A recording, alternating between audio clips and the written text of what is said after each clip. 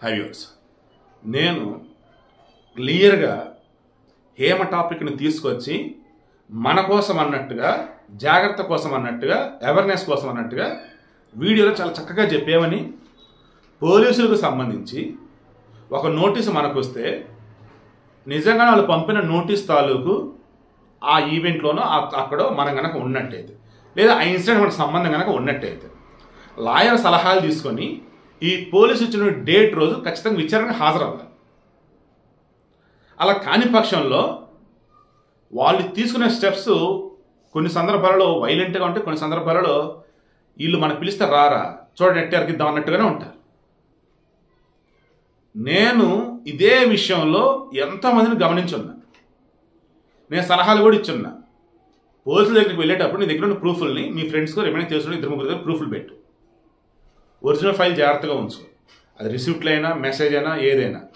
తర్వాత నువ్వు కనుక తప్పు చేస్తుంటే మీ లాయర్ సలహా తీసుకుని లాయర్ తీసుకుని వెళ్ళు. నువ్వు తప్పు ఏం చేయలేదు అనుకుంటే దెన్ మీ వాళ్ళకి అందరూ చెప్పొచ్చు నేను ఈ టైం దాకా వస్తే సరే ఈ టైం దాకా రాకపోతే మీరు రండి రా మీరు రండి అన్నట్టు. దెన్ వెళ్ళండి. వెళ్ళకుండా మాత్రం ఉండొద్దని చెప్పా. ఏం విషయం అదే కదా మనం మాట్లాడుకున్నాం. ఆల్రెడీ రేవ్ పార్టీకి అటెండ్ అయింది. సైలెంట్గా ఉంటే అయిపోయేదానికి నేను హైదరాబాద్ చిల్ అవుతున్నా. నేను ఎక్కడికి వెళ్ళాలా? నా పేరు ఎందుకు చెప్పి తెలియదని అంటాం కానీ వాళ్ళు మరి ఇదెవరు అని చెప్పేసి నెల్లూరు పెద్దరెడ్డి అల్లుడిని అని చెప్పేసి బ్రహ్మానందం సినిమాలు అంటూ ఉంటే అక్కడ పెడతాడు. మరి ఈడోడు అని చెప్పేసి. అది ఆల్రెడీ క్రిమినల్ రికార్డు ఉండిద్ది అక్కడ. అలా ఈ హేమకు సంబంధించి పార్టీకి అటెండ్ అయినప్పుడు డ్రెస్ అదంతా పెడితే మొత్తం ఫుల్ పిక్ పెడితే నేను చిల్ అవుతున్నా అంటే ఎక్కడైతే ఫోటో పెట్టిందో వీడియో తీసి పెట్టిందో ఆ డ్రెస్తో ఉన్న ఫోటో అది. సో పార్టీకి అటెండ్ అయింది దాన్ని ఏమన్నారు? కృష్ణవేణి అనే పేరుతో ఇక్కడ రిజిస్టర్ అయింది. కృష్ణవేణి ఎవరంటే అంటే హేమ యొక్క ఒరిజినల్ పేరు కృష్ణవేణి. కరెక్ట్ అన్ని. దెన్ మరలా ఏం చేసింది? నేను పోలీసుల మీద న్యాయ పోరాటం చేస్తా. నా గురించి న్యూస్ వర్ణిస్తే వాళ్ళ మీద పోరాటం చేస్తా రకరకాలుగా చేసింది. మంచి మిషన్ సపోర్ట్ ఒకటి మరలా. ఈలో పోలీసులు ఏం చేశారు? ఏమో బాబు ఆమె డ్రగ్స్ నార్కోటిక్స్ మేము టెస్ట్ చేసాం కదా డ్రగ్ టెస్ట్. ఆమె పాజిటివ్ వచ్చింది. ఆమె కాదు బాబు మొత్తం ఇక్కడ ఇరవై తొమ్మిది మంది ఆడవాళ్ళు యాభై ఏడు మంది.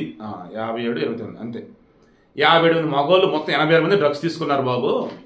ఇప్పుడు హేమ మొదటిసారి విచారణకు వచ్చిందనుకో మేము విచారిస్తాం. ఏమా మీరు డ్రగ్స్ తీసుకున్నారు మీ బాడీలో ఉన్నాయి. మీరు తీసుకున్నారా మీకు ఎవరైనా ఇచ్చారు? అసలు ఏంటి విషయం? ఎంక్వైరీ చేసి మేము పంపిస్తామని బాబు అని క్లియర్గా చెప్పారు. నేను కూడా చెప్పి అదే జరిగిద్దండి అని. ఆల్రెడీ ఇరవై ఏడో తారీఖు ఇప్పుడు ఫస్ట్ విచారణ రమ్మంది. ఆ రోజు విచారణకు వెళ్ళిన వాళ్ళు ఎవరిని అరెస్ట్ చేయలేదు వాళ్ళు. విచారణ చేసి పంపించారు. ఏమేం చేసింది? నాకు హై ఫీవర్ అది నాకు రాట పదార్థం చెప్పి సాగిందా? అదేమంటే మనం దేవుళ్ళం కాదు పొరపాట్లు చేస్తాం తప్పులు చేస్తాం అబద్ధం అయితే నేను ఆడలేదని చెప్పిందా? ఏదో కొంత లేని చూసుకుంటా పోయింది.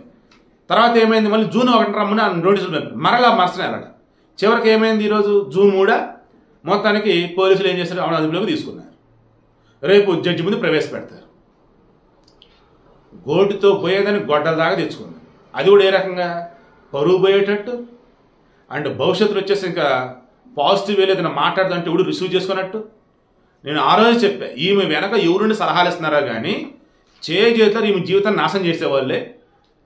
ఈమె స్క్రిప్ట్ చూసి డైలాగ్ అంతా బాగా చెప్తుంది తప్ప నటిస్తుంది తప్ప సినిమాల్లో ఏం జరిగింది ఏంటంటే బయట ఉండి సినిమాలు చూసినట్టయితే మనకు అర్థమవుతుంది. ఆమె సినిమాలో నటించింది తప్ప సినిమా చూడదా ఏంటి? ఎందుకు పోలీసులు వెళ్ళి ఎదురుగా అంటారు వాళ్ళతో ఓ రకంగా ఈమె ఓ రకమైనటువంటి యుద్ధం చేయడం అన్నట్టు. కర్తులు కరట కటారులు ఇటువంటివి కాదు. వాళ్ళు విచారణ రమ్మంటున్నారు నేను రాను నేనే తప్పు చేయలేదు అంటుంది. ఇదిగో నీ ఫోటో ఉంది డ్రగ్స్ టెస్ట్ పాజిటివ్ వచ్చింది ఇంకేంటని వాళ్ళు అంటారు.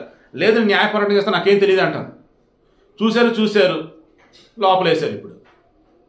ఎందుకంటే ఈ narcotics drugs and substances act ఏదో సైకోమెట్రిక్ సబ్స్టెన్స్ యాక్ట్ ఏదో ఉంది ఎన్డీపీఎస్ యాక్ట్ అది కానీ మన జరిగినప్పుడు డ్రైవ్ పార్టీలో జరిగే ఇష్యూస్ కానీ వీటన్నింటిలో కూడా ఓ రకంగా ఆల్రెడీ అకౌంట్ సీజ్ చేశారు. అకౌంట్లో డబ్బు ఎక్కువగా ఉంది.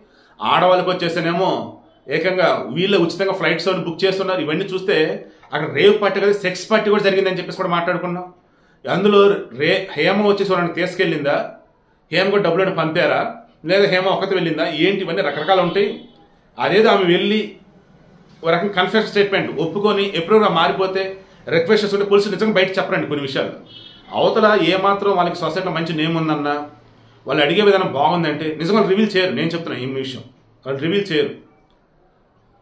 కొన్ని విషయాలు చెప్పుండారు మేము తర్వాత కోర్టుకు చెప్తాడు అని అంటారు అంతే సింపుల్గా బట్ ఈమె అవేం ఆలోచించకుండా ఎవరున్నారో వెనకేమో తెలియదు కానీ చేజాగ్రత్త అతి పెద్ద తప్పు అయితే చేసింది. ఇప్పుడు అనవసరంగా అరెస్ట్ అయింది. ఇప్పుడు పోలీసు కస్టడీలోనే ఉంది. రేపు జడ్జి ముందు ప్రవేశపెడతారు. మరి ఆయన రిమాండ్ విధిస్తాడా? మరి చెప్పాల్సిన చెప్పాక వదిలేస్తారా? రేపు తెలిసింది.